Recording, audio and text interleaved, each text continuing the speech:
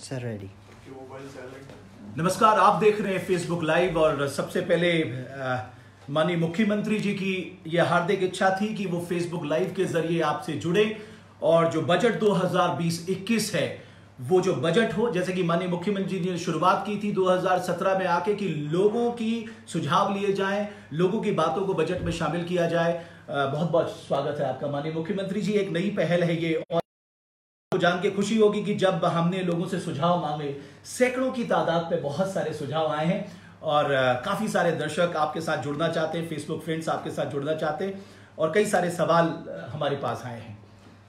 मैं सबसे पहले अपने सभी फेसबुक मित्रों को बहुत बहुत धन्यवाद करता हूँ, प्रणाम करता हूँ कि आज आप सब लोग, जब मैं आपसे सीधा बातचीत कर रहा हूँ बजट 20-21 को लेकर के तो आपके कुछ सुझाव हमारे पास आए हैं, वो सुझाव आपके हमारे पास आएँगे। हमारी कोशिश रहेगी कि हम अपने आने वाले बजट में उसको उसमें समाहित करें। आपके सुझाव आमंत्रित हैं और मुझे बेहद खुशी होगी कि आपके जो बहुमूल्य सुझाव हैं और जो मैं आपसे बातचीत कर रहा हूँ, आप उसको अपने मित्रों के साथ भी उसको शेयर करेंगे और अपनी पसंद, नापसंद भी आप ज़ाहिर करेंगे। माननीय मुख्यमंत्री जी, जब हमने सुझाव मांगे थे तो तकरीबन एक हज़ार से ज़्यादा सुझाव आए हैं और ये सुझाव ज़्यादातर हैं किसानों की समस्याओं को लेकर, पलायन रोकने को लेकर, स्वास्थ्य सुविधाएँ और रोज़गार से लेकर। और पहला सवाल फेसबुक लाइव का जो मैं आज ले रहा हूँ, धीरेन्द्र सिंह रावत जी, हर्षवर्धन जोशी जी, ब्रिज सिंह जी, ए बी पुंडीर जी, भगत चौहान जी, धर्म सिंह भंडारी जी और सर, सब लोगों की एक अपेक्षा है कि इस बार बजट में सड़कों के लिए ज़्यादा आवंटन किया जाए और हमारी सड़कें चमके। देखिए जो हमारे सड़कें हैं, ये एक तरह से हमारे विकास का आईना भी होती हैं और हर सरकार इसको समझती भी है। मैं आपको बता दूँ पहले तो कि ग्रामीण सड़कें हों, चाहे सड़कें सड़कें हों, हमने आज तमाम गाँवों को सड़कों से जोड़ने का काम किया गया है। प्रधानमंत्री ग्रामीण सड़क योजना के अंतर्गत या फिर लोक निर्माण विभाग या अन्य जो हमारे छोटे विभाग हैं, उनके द्वारा पहला काम कि गाँव तक सड़क पहुँचे और दूसरा कि अच्छी सड़कें बने। ये हमारा सौभाग्य है कि माननीय प्रधानमंत्री जी के आशीर्वाद से हमको ऑल वेदर रोड मिली। आज ऋषिकेश से बद्रीनाथ, गौरीकुंड गंगोत्री और यमुनोत्री के लिए और इसी तरह से ऊधम सिंह नगर से चंपावत होते हुए पिथौरागढ़ और आगे धार धारचूला तक ऐसी जो सीमांत सड़कें हैं भारत माला परियोजना के अंतर्गत, जिनकी लंबाई लगभग साढ़े सात सौ किलोमीटर है, आज उन पर बहुत तेज़ी से उनके डेवलपमेंट का काम चल रहा है। बहुत बेहतरीन सड़कें बन रही हैं, जो 12 महीने उस अपनी सेवाएँ देंगी। बरसात या हमारे यहाँ बर्फबारी भी काफ़ी होती है, उसके कारण भी कई बार दिक्कतें होती हैं। तो उन सारी दिक्कतों का सामना ये सड़क करेंगी। इसी तरह से लोक निर्माण विभाग के माध्यम से हम बहुत तेज़ी से पुलों का निर्माण कर रहे हैं। और हमने 2022 तक 300 पुलों के निर्माण का लक्ष्य रखा है और इसके अंतर्गत हमारे तमाम जो प्रमुख पुल हैं, वो बन जाएँगे। कई सड़कें हमारी इसलिए कनेक्ट नहीं हो पाई हैं कि पुल नहीं थे। और इसलिए हमने उसको प्राथमिकता दी, पुल बने और उस पर आवाजाही शुरू हो। गाँव के लोग या जो हमारे पर्यटक बड़ी मात्रा में हमारे राज्य में आते हैं तो उनको किसी तरह की दिक्कत ना हो। स्मूथली वो अपनी यात्रा करें, हमारी कोशिश है। सर, ये दूसरा सवाल हमारे पास उत्तरकाशी से आया है और दीपेंद्र परमार जी ये लिख रहे हैं कि इंजीनियरिंग कॉलेज का निर्माण सत्तर फ़ीसदी पूरा हो चुका है। लेकिन बजट का थोड़ा अभाव है, इसलिए काम रुका हुआ है। देखिए बजट की कोई समस्या नहीं है और जो कॉलेज वहाँ पर बन रहा है, वो कॉलेज आज इंजीनियरिंग कॉलेज की जो हालात है, आज बच्चे पढ़ने वाले नहीं हैं। उनकी संख्या काफ़ी कम हुई है और इसलिए हम उसको एक स्किल डेवलपमेंट इंस्टीट्यूट के रूप में रहे हैं। भारत सरकार से बातचीत चल रही है और सैद्धांतिक रूप से भारत सरकार सहमत भी हो गई है। तो हम उसमें उसको एक स्किल डेवलपमेंट की ओर हम उसको विकसित कर रहे हैं। आपको बहुत जल्दी उसकी शुरुआत आप उसकी करेंगे। सर तीसरा सवाल राकेश चंद्र राकेश कुलियाल जी और अग्रिम रमोला जी पूरम मेहतोलिया जी। ये सब लोगों ने शिक्षा को लेकर सुझाव दिया है और सबका जो कहना है उनका कहना है कि साहब एक तो शिक्षकों की भी पूरी हो दूसरा सरकार क्वालिटी एजुकेशन में ध्यान दे। नहीं बहुत अच्छे और आपके मैं बता दूँ कि कोर्ट की रोक की वजह से हम लोग अध्यापकों की भर्ती अपने माध्यमिक विद्यालयों में नहीं कर पा रहे थे। लेकिन अब कोर्ट से वो स्टे वैकेंट हो गया है और उसकी भर्ती की प्रक्रिया ये प्रारंभ हो गई है। आपने बहुत अच्छी बात जो कही और मेरे मन की बात कही कि हमको क्वालिटी और ध्यान देना चाहिए और उसके लिए सरकार ने पहले एनसीईआरटी की किताबें राज्य में लागू की है। दूसरा, हम स्कूलों को हम क्लबिंग कर रहे हैं कि ताकि एक तो शिक्षकों की कमी दूर होगी, दूसरा, बहुत एक ही कैंपस में तीन चार, तीन तीन स्कूल, चार चार स्कूल, इस ढंग से स्कूल चल रहे थे और उसके कारण वहाँ पर एक अनुशासन की, अनुशासन नहीं बन पाता था, दूसरा डिस्टरबेंस भी होता था और अब उनकी क्लबिंग करके भी हम लोगों की एक कोशिश है कि उनकी क्वालिटी सुधरे। वहाँ पर जो टीचर्स की संख्या है, वो पर्याप्त है और मैं समझता हूँ कि जो हम भर्ती की प्रक्रिया हमने प्रारंभ की है बहुत जल्दी हमारे शिक्षकों की कमी दूर होगी। सर जो है वो हमारे पास विमल नेगी उदय सिंह जीना महेश चंद पंत नरेंद्र गोनियाल जी ने पूछा है। आपके सुझाव पलायन को लेकर हैं। उन्होंने कहा कि हम आप सेंटर की परिकल्पना को सल्यूट करते हैं लेकिन हम ये चाहते हैं कि ग्रोथ सेंटर में जो भी काम आप लेकर आ रहे हैं और स्वरोजगार को बढ़ावा दे रहे हैं उसको बहुत सीरियसली आगे बढ़ाया जाए। देखिए बहुत सीरियसली ही उसको आगे बढ़ाया जा रहा है। तीन सौ सॉरी छः सौ सत्तर हमारी न्याय पंचायतें हैं। कम हुई होंगी क्योंकि हमारे नगरीय क्षेत्रों का विस्तार हुआ है। पर फिर भी हमें मानकर चलते हैं कि लगभग साढ़े पंचायत अपने राज्य में है। और उन साढ़े छः सौ न्याय पंचायतों में ये ग्रोथ सेंटर हम, हमने प्रारंभ करने का लक्ष्य रखा है। बयासी ग्रोथ सेंटर हमारे सेंक्शन हो चुके हैं और उन पर काम चल रहा है। कुछ ग्रोथ सेंटर आज प्रोडक्शन में भी आ गए हैं और वो अपना उत्पाद मार्केटिंग कर रहे हैं, उसकी सेल कर रहे हैं। हमको आप लोगों का सहयोग चाहिए इसमें कि और मैं आपको बहुत बधाई दूँगा, धन्यवाद भी दूँगा कि आपने ग्रोथ सेंटर का जो कॉन्सेप्ट है गवर्नमेंट का, उसको आपने समझा। ये ग्रोथ सेंटर हमारी ग्रामीण अर्थव्यवस्था के लिए माइल स्टोन साबित होंगे और धीरे धीरे ये हमारी नई टाउनशिप डेवलप होगी। और नई टाउनशिप डेवलप होगी, वो ग्रोथ सेंटर वहाँ पर होंगे तो वहाँ पर स्वाभाविक फिर स्कूल भी जाएँगे, अस्पताल जाएँगे और वहाँ पर जो रोज़गार भी विकसित होंगे। तो हमारी कोशिश है कि नई टाउनशिप ये डेवलप हो और एक ग्रोथ सेंटर हमारे राज्य की इकोनॉमी में और जो असमानता है असमानता इन द सेंस कि हमारे जो मैदानी जनपद है, वहाँ पर पर कैपिटल इनकम ढाई लाख से ऊपर है। लेकिन पर्वतीय क्षेत्रों में हम देखते हैं दूरस्थ क्षेत्रों में ये सवा लाख के आसपास है।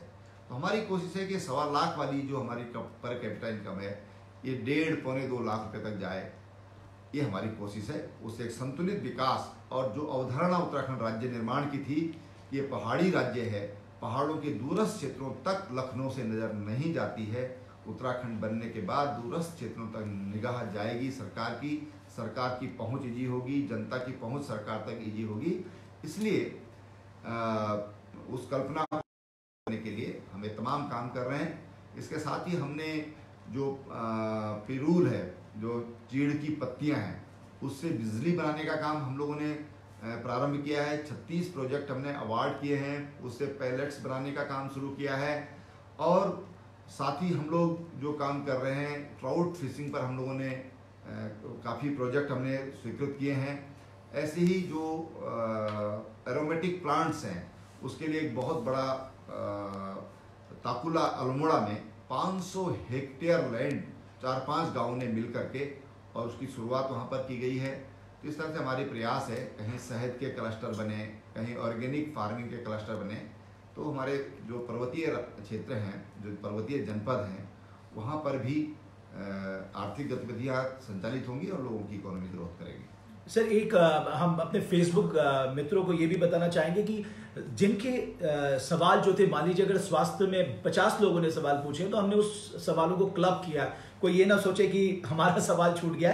ज़्यादातर लोगों के सवाल इसमें लिए गए हैं। जो पांचवा सवाल है, वो हमारे स्वास्थ्य सेवाओं को लेकर है। और दिनेश चंद आर्य, रघुवीर सिंह, पूरण चंद्र आर्यन, सुरेंद्र भंडारी, सब लोगों ने स्वास्थ्य सुविधाओं को लेकर सवाल पूछा है।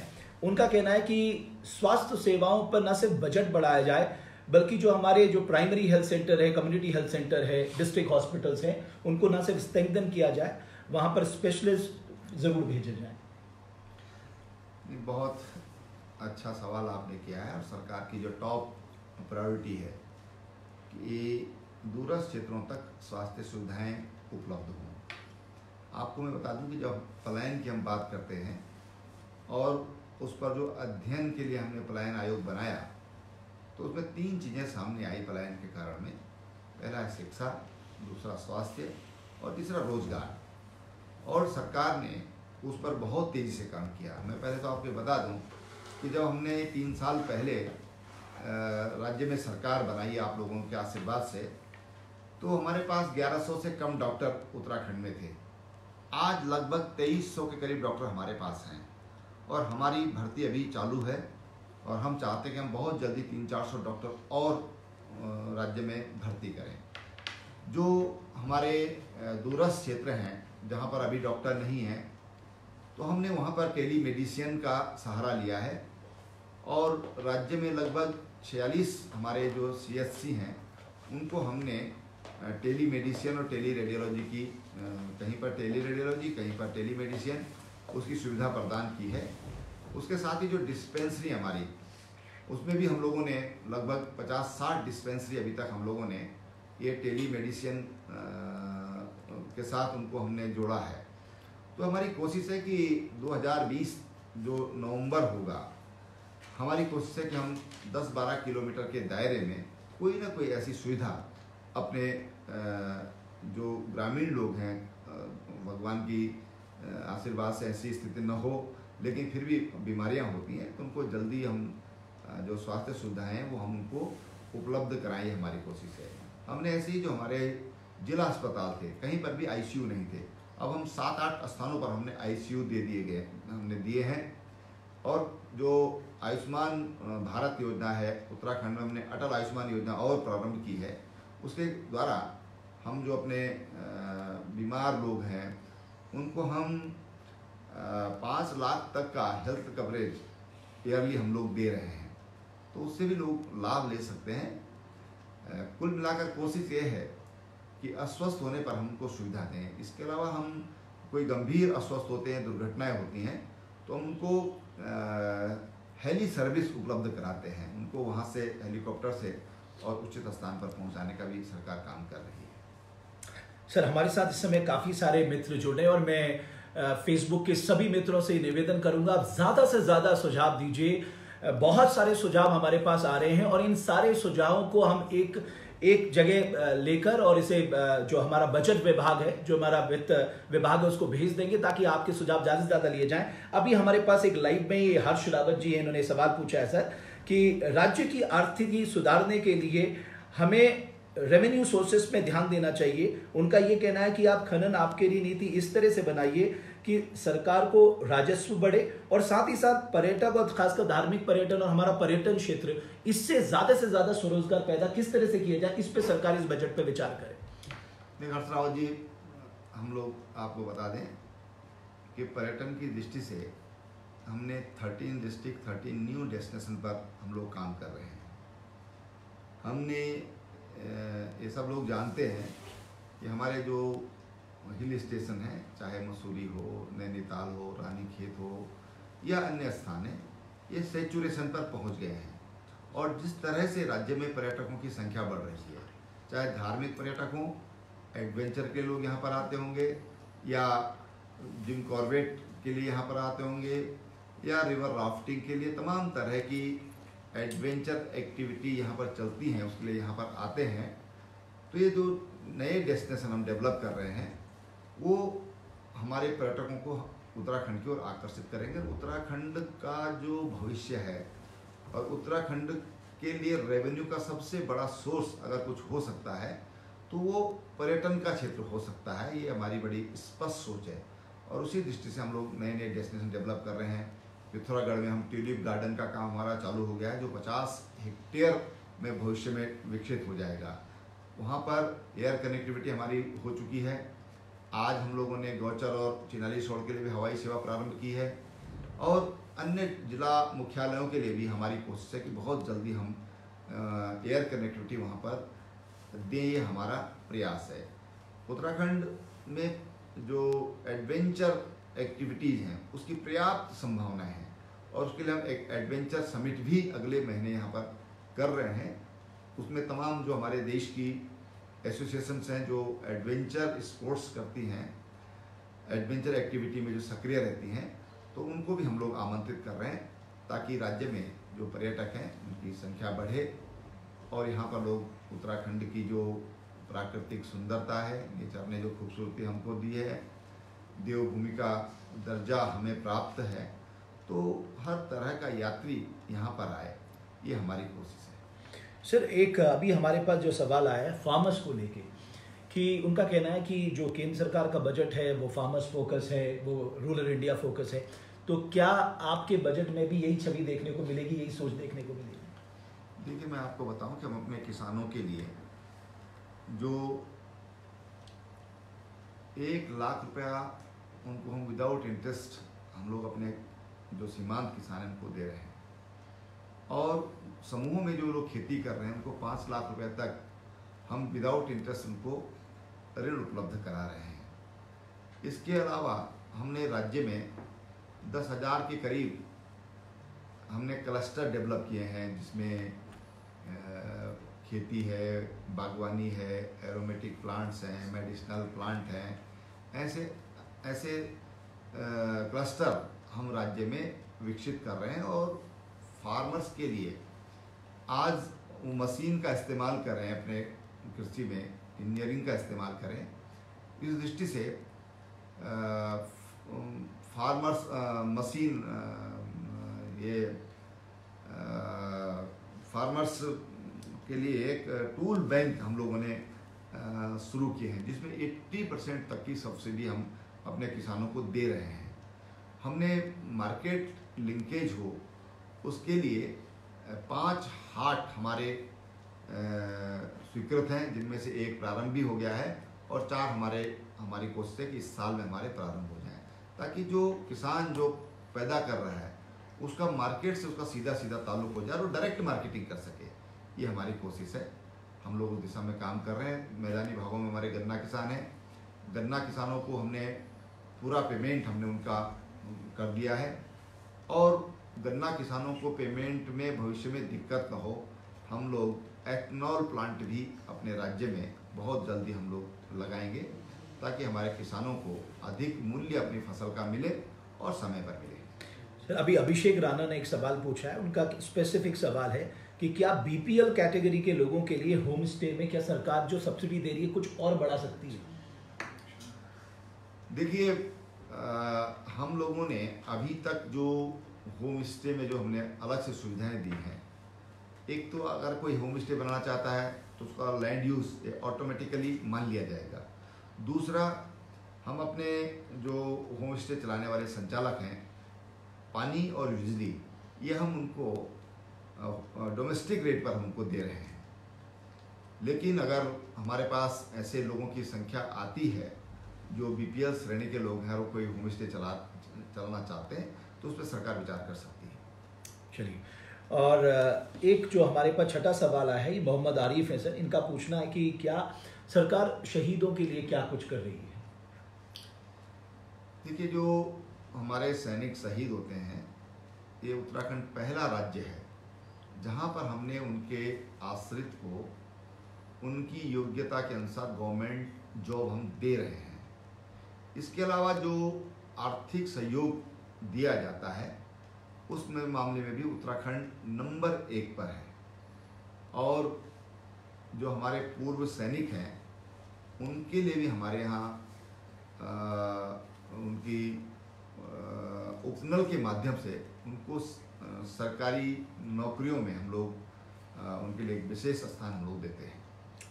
एक देवेंद्र अधिकारी है अभी जो हमारे साथ जुड़े हैं सर इनका कहना है कि जो हमारे पास पहाड़ में बंजर भूमि है अ, सरकार के पास कोई स्पेसिफिक प्लान है इस बंजर भूमि के देखिए बंजर भूमि के लिए एक तो हमने सोलर प्लांट्स का शुरू किया है और जिसमें 203 मेगावाट के हमारे अवार्ड हो चुके हैं। और ये टोटली पहाड़ी क्षेत्रों के लिए है जहाँ पर किन्हीं कारणों से लोग खेती नहीं कर रहे हैं या नहीं कर पा रहे हैं, वहाँ के लिए हमने विशेष योजनाएँ राज्य में लागू की है। और साथ ही हम लोगों ने इंडस्ट्रियल हेम्प, ये हमने अपने राज्य में इंट्रोड्यूस किया है, उसको वैधानिक मान्यता दी है, क्योंकि लोग एक बात बोलते हैं, जब भी खेती की बात करते हैं कि साहब बंदर खेती नहीं करने देते, जंगली सुअर हैं, वो खेती नहीं करने देते हैं तो जो इंडस्ट्रियल हेम्प है न इसको बंदर नुकसान पहुंचाता है न इसको और जं, जंगली जानवर सुअर या कोई अन्य जंगली जानवर इसको नुकसान पहुंचाते हैं न इसको चुराने का कोई खतरा होता है। तो एक तो हम लोगों ने इसको अपने राज्य में इंट्रोड्यूस किया है। दूसरी बात जो आ, हमारे किसान कर सकते हैं हम उसमें एरोमेटिक प्लांट्स हम लोग कर सकते हैं।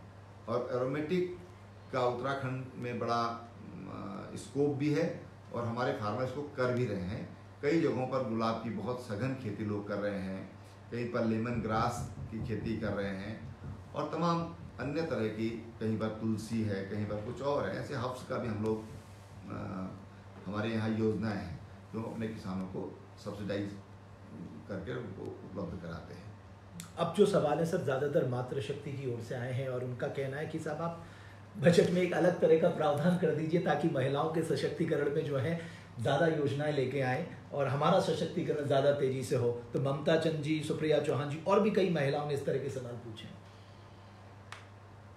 अच्छा सुझाव दिया उन्होंने और ये बात सच है कि उत्तराखंड में महिलाओं की बड़ी भूमिका रहती है। जो ग्रामीण जीवन है, काफ़ी हद तक वो महिलाओं महिलाओं पर निर्भर करता है और आप लोगों ने जो सुझाव दिए हैं ये सुझाव विचारणीय है हम इस पर विचार करेंगे।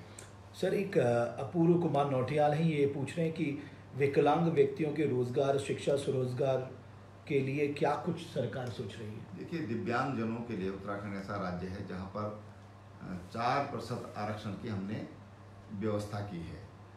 और जो दिव्यांग जन हैं, उनके लिए सरकारी नौकरियों में इस तरह की व्यवस्था की गई है।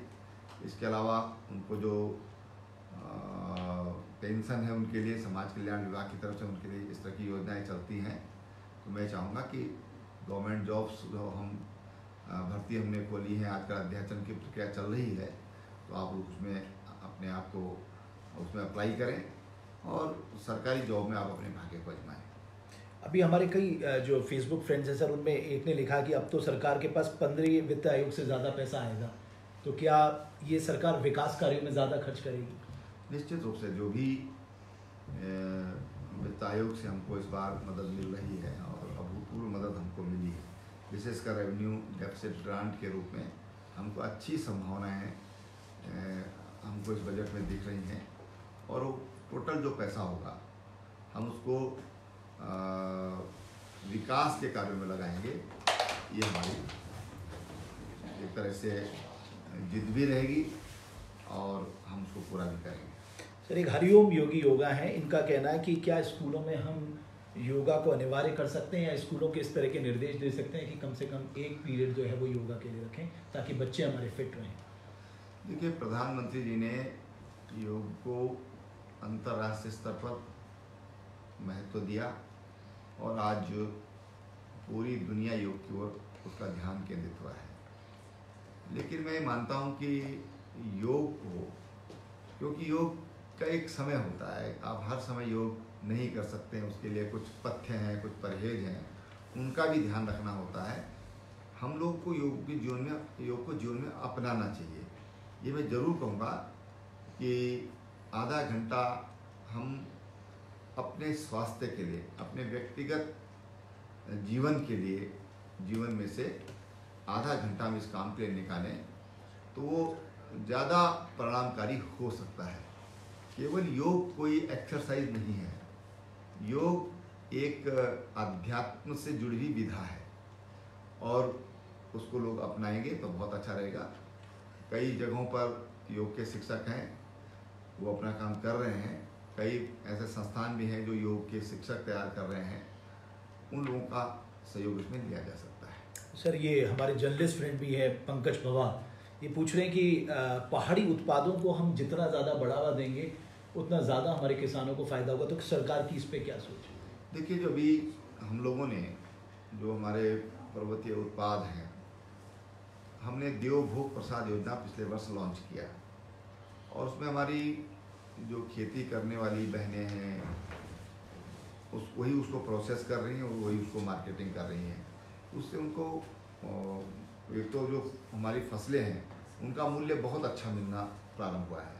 विशेषकर मैं आपको उदाहरण के तौर पर बताना चाहूँगा कि चौलाई जो 20-22 रुपए किलो तक बिक पाता था, आज चौलाई 50 रुपए से लेकर 60 और बासठ रुपए किलो तक बिक रहा है। मड़वा, मड़वे के लिए हम लोगों ने पच्चीस रुपया उसका एमएसपी रखा।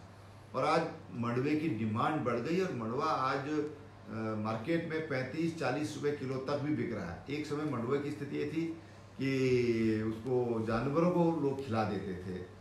आज मंडुए की डिमांड बढ़ी है और जो हमारे नई जनरेशन के लोग हैं, जो युवा हैं, मैं देख रहा हूँ कि बहुत सारे नौजवान राजमा हमारे यहाँ बहुत अच्छा होता है, चौलाई हमारे यहाँ काफ़ी पर्याप्त मात्रा में होता है। और तमाम सब्ज़ियाँ हमारे यहाँ पर्याप्त मात्रा में होती हैं, फल हमारे यहाँ होते हैं, ऑनलाइन उसकी मार्केटिंग आज कर रहे हैं।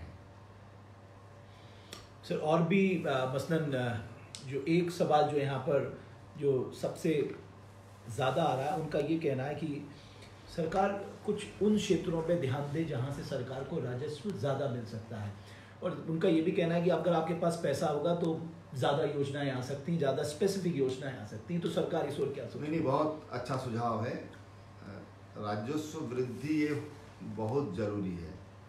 और राजस्व वृद्धि से ही हम जो समाज कल्याण की हमारी योजनाएँ हैं, या विकास की जो हमारी योजनाएँ हैं, या विकास की जो हमारी अवधारणा है, उसको हम तभी पूरा कर सकते हैं जब हमारे पास पर्याप्त राजस्व हो। और इसी दृष्टि से जो सर्विस सेंटर सर्विस सेक्टर है उस पर हमने काफ़ी फोकस किया है।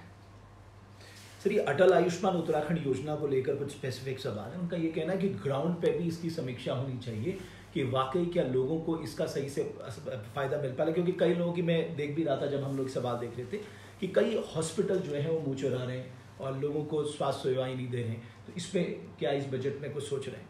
देखिए जो अस्पताल रजिस्टर हैं, आयुष्मान, अटल आयुष्मान योजना के अंतर्गत, आयुष्मान भारत योजना के अंतर्गत, वो उन्हीं से ये जो स्वास्थ्य सेवा है, हम ले सकते हैं।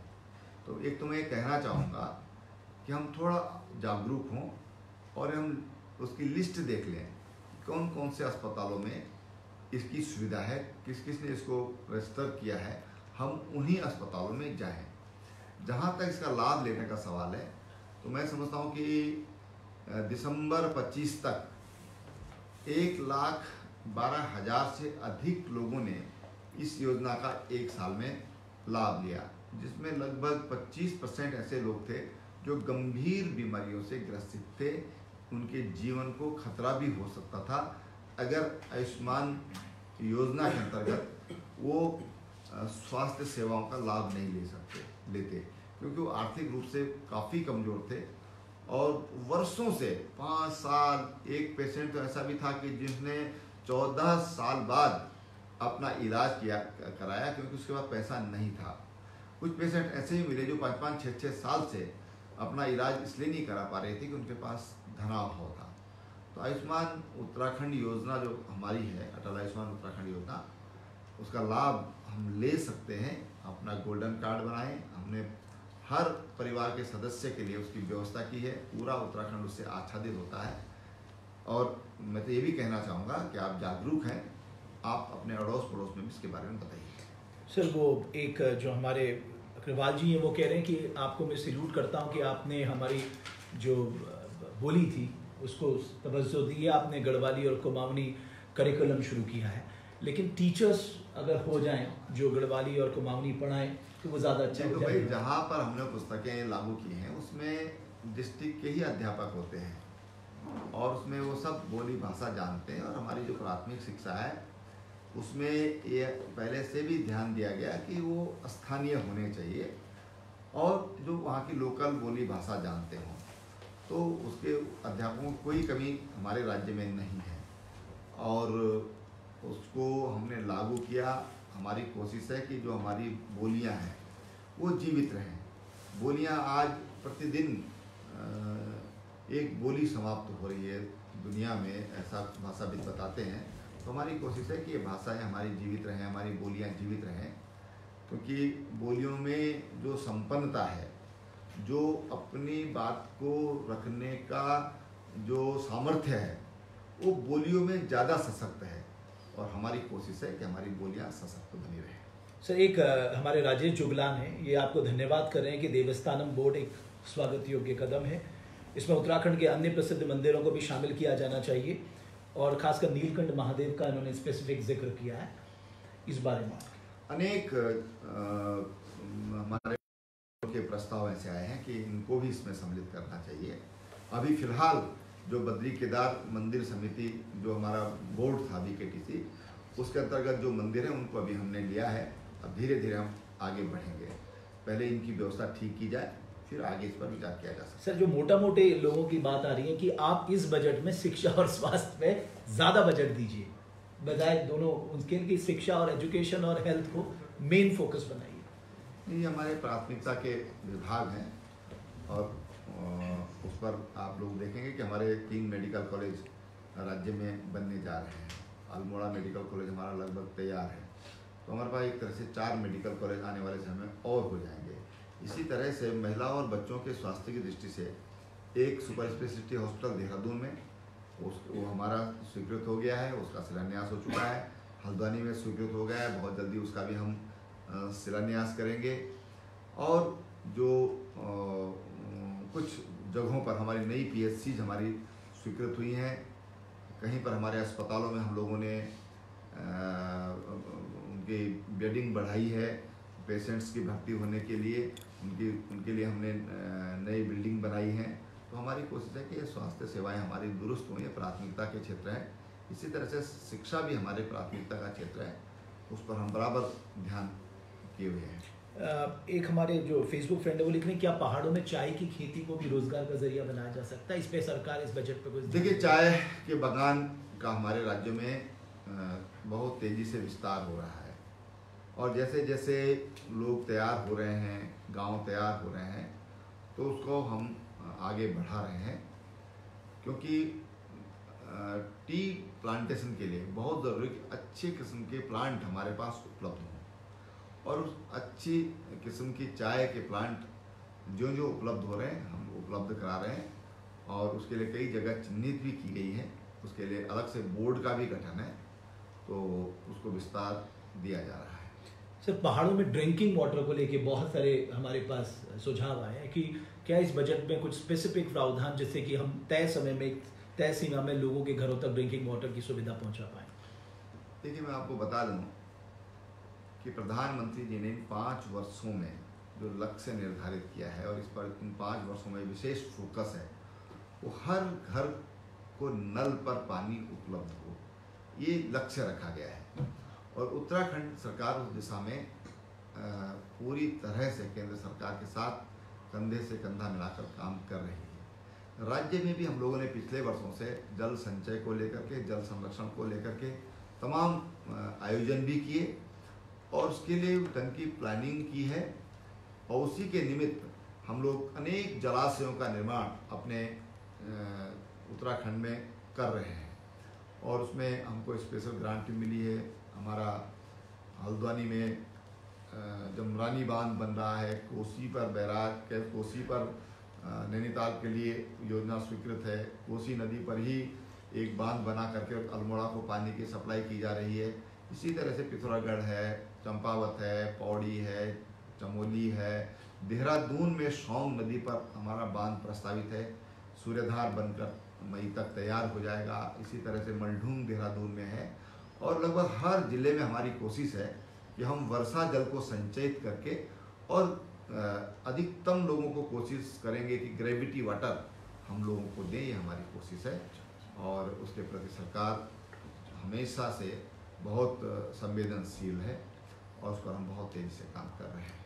सर जो सवाल आ रहे हैं वो पब्लिक ट्रांसपोर्ट को स्ट्रेंथन करने को लेकर भी आ रहे हैं। उनका ये कहना है कि इससे भीड़ भी कम होगी तो सरकार क्या कुछ बजट पे सोच रही है कि इलेक्ट्रिक बसें नहीं उतारी जाएँ पब्लिक ट्रांसपोर्ट को स्ट्रेंथन किया जाए? देखिए हम बहुत जल्दी देहरादून में इलेक्ट्रिक बसों को हम यहाँ पर प्रारंभ कर रहे हैं। स्मार्ट सिटी योजना के अंतर्गत भी। और हम चाहते हैं कि कुछ और जगहों पर हम इलेक्ट्रिक बसों की शुरुआत करें।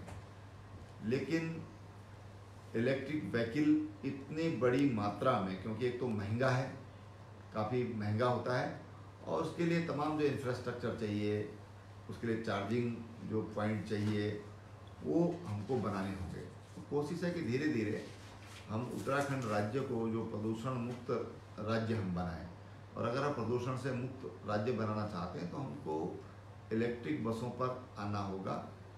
और हमारी कोशिश है और जिस तरह से भारत सरकार ने भी लक्ष्य रखा कि 2030 तक हम ईवी व्हीकल को प्रोत्साहित करेंगे देश में और पब्लिक ट्रांसपोर्ट के रूप में हम उसको बहुत आ, बड़ी मात्रा में उतारने की केंद्र सरकार की तैयारी है। तो उससे आ, हम लोग आ, अपने राज्य में भी उसको लागू करेंगे और हमने एक इलेक्ट्रिक व्हीकल पॉलिसी भी हमने अपने राज्य में बनाई है कि अगर कोई यहाँ पर उसका उद्योग लगाना चाहते हैं तो उसके लिए विशेष प्रावधान भी हम लोगों ने किए हैं। सर ओम जोशी हैं इन्होंने लिखा आदरणीय मुख्यमंत्री जी को सादर नमस्कार। 2020-21 के विनम्र निवेदन सुझाव यह है कि उत्तराखंड विद्यालय शिक्षा में कंप्यूटर विज्ञान विषय को हाई स्कूल एवं इंटरमीडिएट स्तर पर नियमित विषय के रूप में प्रारंभ करते हुए मॉडर्न विद्यालयों में पदों को सृजन करते हुए बजट 2020-21 में प्रावधान किया जाए। वो आईटी सेक्टर में ओम जी हम आपको बता दें कि उत्तराखंड राज्य पहला राज्य है जहाँ पर हमने वर्चुअल क्लासेज प्रारंभ किए हैं।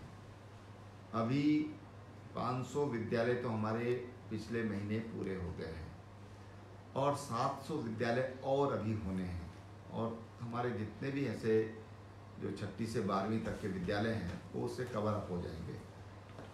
और आने वाले छः महीने से पहले हम वर्चुअल क्लास हर विद्यालय में इसको हम प्रारंभ कर लेंगे। तो जहाँ तक कंप्यूटराइजेशन की सवाल है, जहाँ तक टेक्नोलॉजी का सवाल है तो राज्य सरकार उसको एडॉप्ट राज्य सरकार ने उसको एडॉप्ट किया है। हम तो इतना ही नहीं, हमारी आपको मैं जानकारी दे दूँ कि हमारा जो कैबिनेट होती है, वो ई कैबिनेट है। आज हमारे सचिवालय में कुछ विभाग आज ई ऑफ़िस हो गए हैं और आने वाले पाँच छः महीनों में हमारे पूरा सचिवालय, ये ई ऑफ़िस हो जाएगा। तो हम लोग उस दिशा में काम कर रहे हैं। जैसे जैसे धन की व्यवस्था होगी, टेक्नोलॉजी की उपलब्धता होगी तो हम उसको अपनाते रहेंगे। सर, मैं देख रहा था मेजॉरिटी जो सवाल हैं, वो ज़्यादातर स्पेसिफिक रोज़गार को लेकर हैं और ज़्यादातर यूथ वो सवाल पूछ रहा कि रोज़गार को लेकर आपकी सोच क्या है और रोज़गार को लेकर बजट में आप किस तरह की सोच रख रहे हैं? और युवाओं को ज़्यादा से ज़्यादा रोज़गार मिले, चाहे वो स्वरोजगार के रूप में हो, किसी भी सेक्टर में हो बट उनको अपनी आजीविका के लिए रोज़गार चाहिए। उसके लेकर आपकी क्या सोच है? देखिए, सरकार बनने के बाद ही हम इस दिशा में हमने प्रयास किए। और पहला प्रयास हमने किया सात आठ अक्टूबर 2018 को। इन्वेस्टर मीट, इन्वेस्टर समिट हमने उत्तराखंड में किया। और लगभग सवा लाख करोड़ के उसमें एमओयू साइन हुए, जिसमें से लगभग उन्नीस हज़ार करोड़ के एक ग्राउंड हुए हैं। और इसमें संभावना ये है कि पचास हज़ार से अधिक लोगों को इसमें रोज़गार मिलेगा। अभी हम दो समिट और कर रहे हैं। मार्च माह में एडवेंचर समिट हम लोग कर रहे हैं और, अप्रैल माह में हम वेलनेस समिट कर रहे हैं। जो होम स्टे है, उसको हम जो बढ़ावा दे रहे हैं, वो स्वरोजगार की ओर एक मज़बूत कदम है। सोलर एनर्जी, सोलर पावर, ये भी स्वरोजगार की दिशा में एक महत्वपूर्ण कदम है। जो ग्रोथ सेंटर की परिकल्पना है, वो भी स्वरोजगार को लेकर के है। पाइन निडल पर हम लोग जो काम कर रहे हैं और 36 प्रोजेक्ट हमने अभी तक अवार्ड किए हैं, वो भी स्वराज का स्वरोजगार का एक बड़ा माध्यम इसके अलावा हमने वर्ष 19-20 को रोज़गार वर्ष के रूप में घोषित किया है। और तमाम जो सरकारी भर्तियाँ हैं, जो हमारे यहाँ कर्मचारियों की कमी है, जो जो खालीपन है, उसको दूर करने के लिए अध्याचन प्रारंभ किए हैं तो सरकारी जॉब भी उसमें हम लोगों को देंगे। तो मैं समझता हूँ कि सरकारी जॉब तो एक सीमित मात्रा में है। तो मैं अपने नौजवानों से यही कहना चाहूँगा आप स्वरोजगार की ओर बढ़ें। उत्तराखंड में उसकी पर्याप्त संभावनाएँ हैं। सरकार भी सपोर्ट कर रही है। अभी जो लोग यातायात ट्रांसपोर्टेशन डिपार्टमेंट, ट्रांसपोर्टेशन के शौकीन हैं। हम लोगों ने अपने राज्य में कोई अगर बस खरीदता है तो उसमें फिफ्टी परसेंट सब्सिडी की व्यवस्था की है। अभी तक बी चंद सिंह गढ़वाली योजना में थर्टी परसेंट तक का सब्सिडी थी। फिफ्टी परसेंट सब्सिडी पर हम दे रहे हैं। और उन बसों को हम रोडवेज़ के साथ अनुबंधित भी करेंगे। तो हम तमाम तरह के ऐसे नए नए आयाम रोज़गार के लिए और स्वरोजगार के लिए हम खोल रहे हैं। आप लोग उत्तराखंड सरकार की जो योजनाएँ हैं, उनको देखते रहिए। और जो आपको लगता है, जो आपको सूट करता है, उसको आप अपनाइए और रोज़गार पाइए। तो इसमें बोलना, इनका कहना है कि जो बैंक से जब लोन लेना होता है तो बड़ी दिक्कतों का सामना करना पड़ता है। तो सरकार अपनी ओर से बैंक को निर्देश दे कि जो हमारी योजनाएँ हैं, उसमें अगर कोई पात्र पात्र व्यक्ति है तो उसे फटाफट लोन दिया जाए। ये एक दिक्कत ज़्यादातर रोज़गार ये दिक्कत है और ये बार बार हमारे सामने आती है और हम लोग, हमारे जो अधिकारी हैं, वो स्टेट लेवल जो इसकी कमेटी है बैंकर्स की, उसके साथ बैठते हैं। मैं आपसे कहना चाहूँगा फेसबुक के माध्यम से कि आपकी जो भी समस्या है आप सरकार को बताते रहिए। One nine zero one nine zero six पर भी वन नाइन ज़ीरो फाइव पर भी आप अपनी कोई दिक्कत है, उसको बता सकते हैं। उस पर तुरंत एक्शन होता है और आप अपने सुझाव लिखित में भी राज्य सरकार को दे सकते हैं। आपकी कोई इस तरह दिक्कत है, वहाँ पर जिलाधिकारी हैं, आप वहाँ के ज़िले में अगर कहीं कोई समस्या है तो वहाँ के जिलाधिकारी को भी मिलकर के आप अपनी समस्या बता सकते हैं। हमारी कोशिश है कि जो इस तरह की हर्डल्स हैं, जिस तरह की बाधाएँ हैं उनको हम दूर करें। सर इको टूरिज़्म पॉलिसी कब तक आ जाएगी और इससे क्या इस बजट में हम लोग उम्मीद करें? ये ज़्यादातर लोगों के सवाल है। देखिए इको टूरिज़्म जो है ऑलरेडी हमारे यहाँ अगर कोई तो कोई काम करना चाहता है तो उसको कर सकते कोई रोक उस पर नहीं है।